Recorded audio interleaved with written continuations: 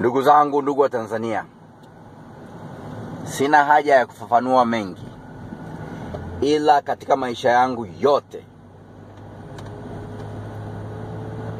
ila katika maisha yangu yote nimekuwa mtu ambaye anajisikia kama nakufa, kama roho inanitoka ninapoona mtu anafanyiwa maonevu au ubaya, ninapoona mtu anafungwa kwa kusingiziwa, watoto wake wanakosa chakula, wanarudishwa shuleni, kutoka shuleni, wananyanyaswa kwa sababu hawana mtetezi, kisa tu kuna mtu fulani amejiona na nguvu, ameonea baba yake au ameonea mama yake na kumweka jela. Najisikia kama roho yangu inatoka damu. Ninapoona mtu anauawa pasipo na hatia, kisa tu kuna mtu fulani ambaye anajiona ana nguvu na anataka kumwaga damu yake. Ben saa nane wazazi wake wanalia mpaka leo, na si hivyo tu, damu ya Ben saa nane inalia ikiita kisasi. Aquilina Aquilin, damu yake na ubongo wake unalia kuita kisasi. Damu ya Aquilina Aquilin inalia kuita kisasi. Machozi ya baba yake na mama yake yanalia kuita kisasi. Yako yalikomwagika bado Mungu anayaona.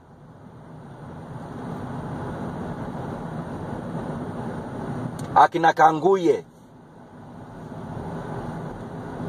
waliotupwa katika viroba na mifupa, na, na mifupa yao ikawa baharini, na hawa ni wale wa- wachache ambao walielea, lakini ambao mifupa yao iko baharini kama imeliwa na samaki, bado damu yao, bado roho zao zinalia katika vilindi vya maji vikiita kisasi. Ndugu zangu, ndugu wa Tanzania, kuna siku nilitamka kwa uchungu sana, na hakuna siku hata moja ambapo nimetamka kwa uchungu sana mpaka ninajihisi kwamba sauti ile iliyokuwa inatamka si yangu. Maneno hayo yakanirudia, yakarudi bure. Nilishasema waliosababisha wazimu wa Akwilina Akwilini akauawa, waliomwaga damu ya Ben Saanane na Azori, ambaye watoto wake kila siku wanalia hati kisa Azori kaandika wasichokipenda.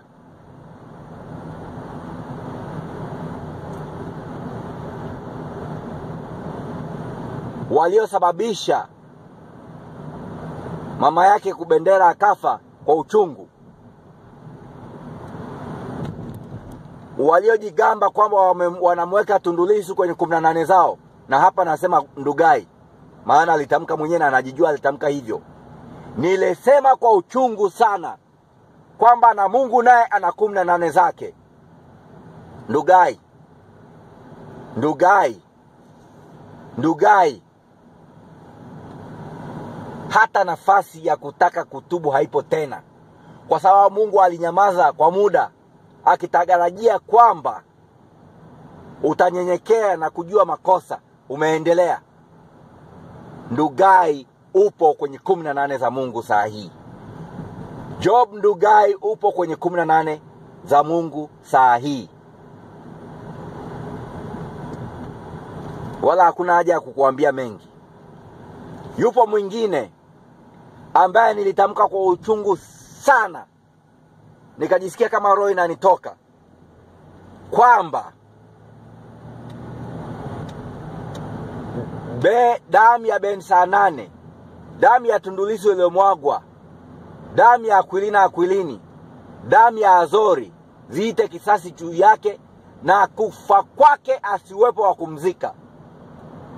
Huyo simtaji, ila anajijua. Huyo simtaji, ila anajijua. Na Watanzania wote musikie leo kama ushahidi, kwa maana mimi ninalielewa neno la Mungu. Kuna mahali ambapo mara kadhaa imeandikwa na iwe kwako kama ulivyosema. Jiulize ni kina nani walisema kwamba hakuna bajeti ya mazishi Ikulu. wakiwa wanamnyanyapaa Lowassa, wakasema mara nyingi sana, hakuna budget ya mazishi Ikulu. Walikuwa wanajitolea unabii, hakuna budget ya mazishi Ikulu, hakuna budget ya mazishi Ikulu.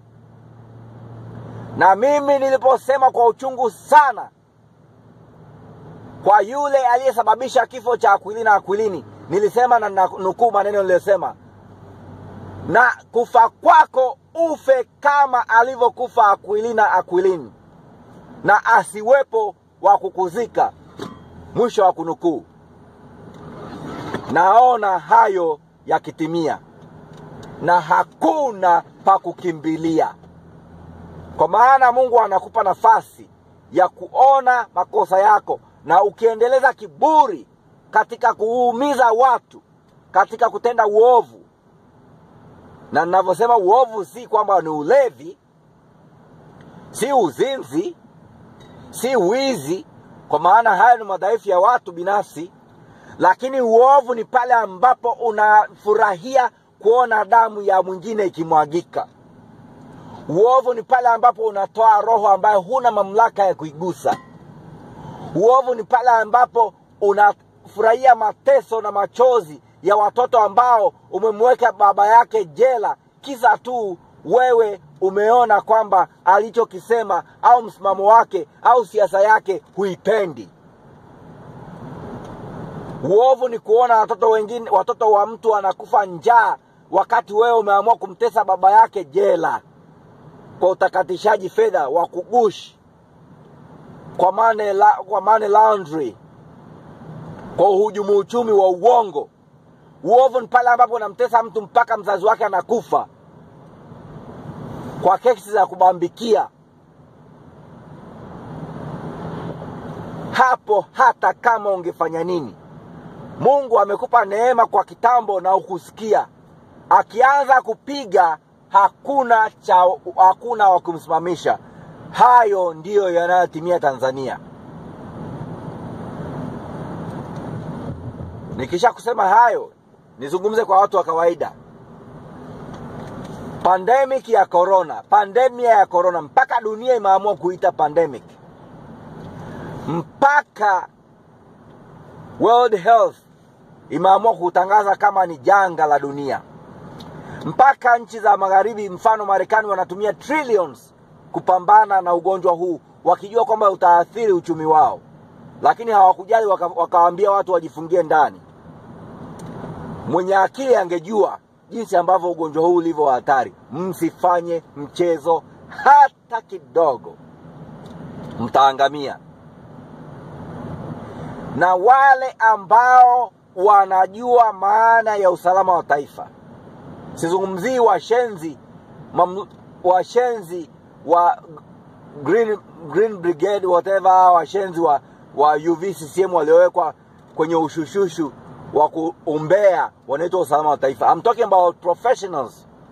I'm talking about professionals of intelligence. Usalama wa taifa maana yake ni kulinda nchi dhidi ya maadui wa nje na wa ndani, maadui wanaojitambua na wasiojitambua. Mtu yeyote ambaye analipeleka Tanzania taifa kwenye hatari, usalama wa taifa wa ngazi zote, military intelligence na usalama wa taifa kama taasisi, mtakuwa mmemsaidia sana mtu huyo kama mkimzuia kwa nguvu zote. Asitumike kama hajijui na kama anajijua kwamba anaangamiza taifa asipate fursa hiyo, mkamkandamiza vibaya, mtakuwa kweli mmefanya kama professionals wa usalama wa taifa, mtakuwa mmefanya kama kweli military intelligence.